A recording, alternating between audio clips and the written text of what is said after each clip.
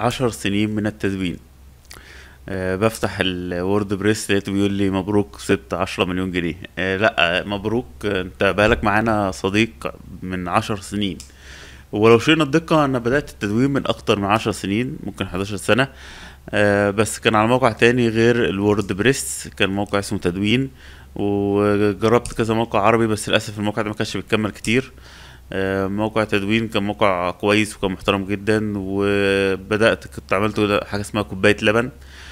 آه وأصحاب الموقع نفسهم اتصلوا بيا وقالوا لي التدوينات بتاعتك كويسة عايزين نعرضها على الصفحة الرئيسية لل- للموقع.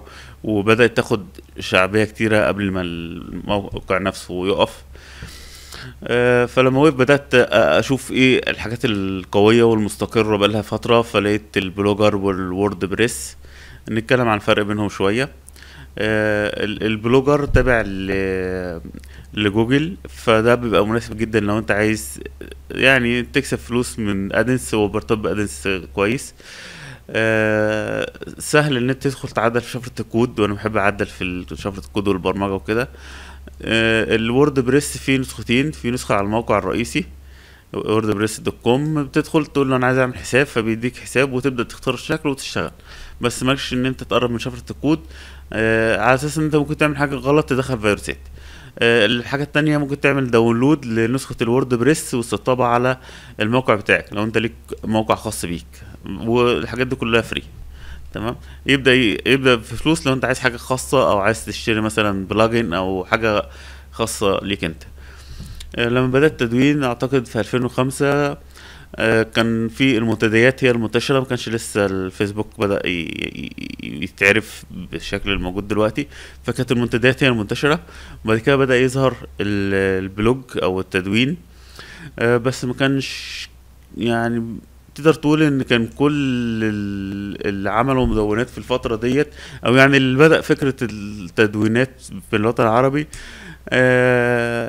كان استخدام سيء وكان تدخل المدونه تحس إن أنت داخل الحمام. كان شيء فظيع فعلا.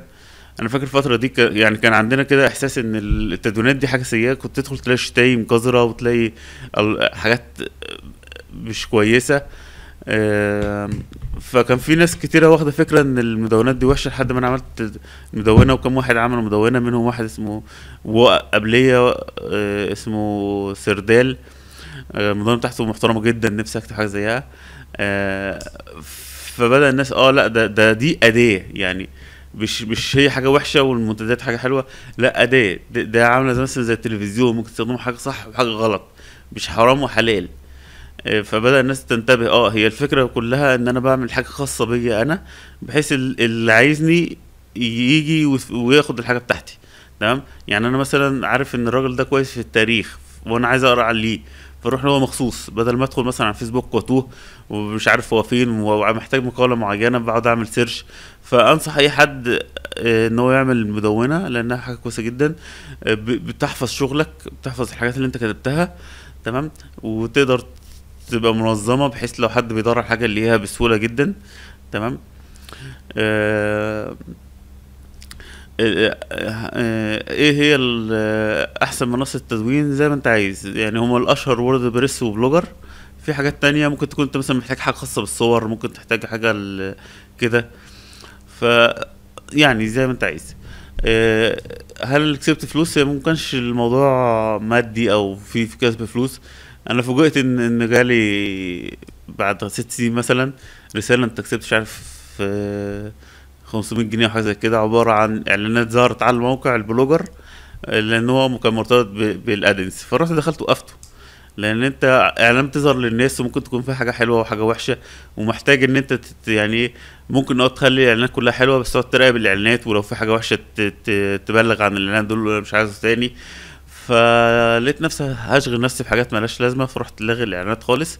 ال WordPress بتظهر آه، إعلانات بس مش تبعي وماليش سيطرة عليها وماليش أي جزء من الأرباح. أنا ماليش علي ماليش أي أرباح من ال WordPress وال Blogger أنا قافل الإعلانات خالص. تمام؟ آه الإعلانات في ناس بتكسب كتير منها بس بيبقى معتمد إن هو بيكتب بالإنجليزي لأن سعر الإعلانات في الإنجليزي أعلى وبيحاول يكتب في حاجة تكون مهمة للناس. يعني مثلا يكتب عن الموبايلات عن ال- التجارة الإلكترونية يكتب عن السيارات يكتب عن الحاجات ديت. أنا بكتب في حاجات إيه اللي أنا بكتبه؟ بكتب في آه، أنا بكتب في إيه؟ ال BIM وال Revit وال Navisworks وحاجات رخمة كده ومكلكعة وما يعني اللي بيدخل لها بيبقى هو واحد داخل مخصوص شغال في المجال دوت. آه قلت أبص على الإحصائيات بقى بمناسبة إن هو بيقول 10 سنين فلقيت آه تقريبا آه تقريبا 6000 تدوينة ولقيت آه فيديوهات شرح للبرامج الهندسية في حدود 1660 فالحمد لله. طبعا ال- ال- ال- المدونة بتكلفك ف- مبالغ فلوس. يعني مثلا المايك اللي أنا بتكلم عليه دوت ده ب 100 دولار.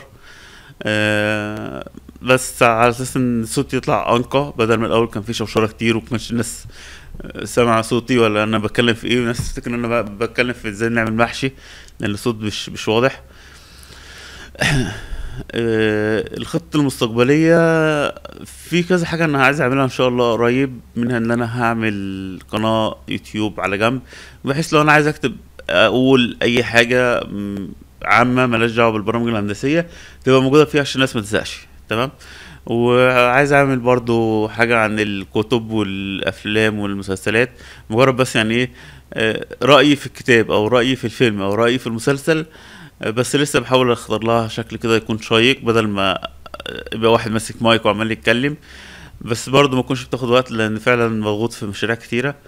آه، الحاجة اللي نفعت من التدوين عملت مشاريع كتير جدا مش مشاريع مادية لأ قصدي يعني مشروع مثلا إحنا نطور حاجة أو نعمل حاجة. في حاجات فيهم نفعت وحاجات ما نفعتش وحاجات كتيرة باظت. وناس حاجات كتيرة مثلا الناس متحمست لهاش آه، يمكن هي الحاجة اللي كملت لغاية دلوقتي أو بحارفها بقوة إن هي تبقى حاجة كويسة. ولا قبول الحمد لله. آه، مجلة بيم أرابيا مجلات ال- اللي انتشرت الحمد لله كويس. وإن شاء الله تنتشر أكتر وأتمنى لها كل التوفيق.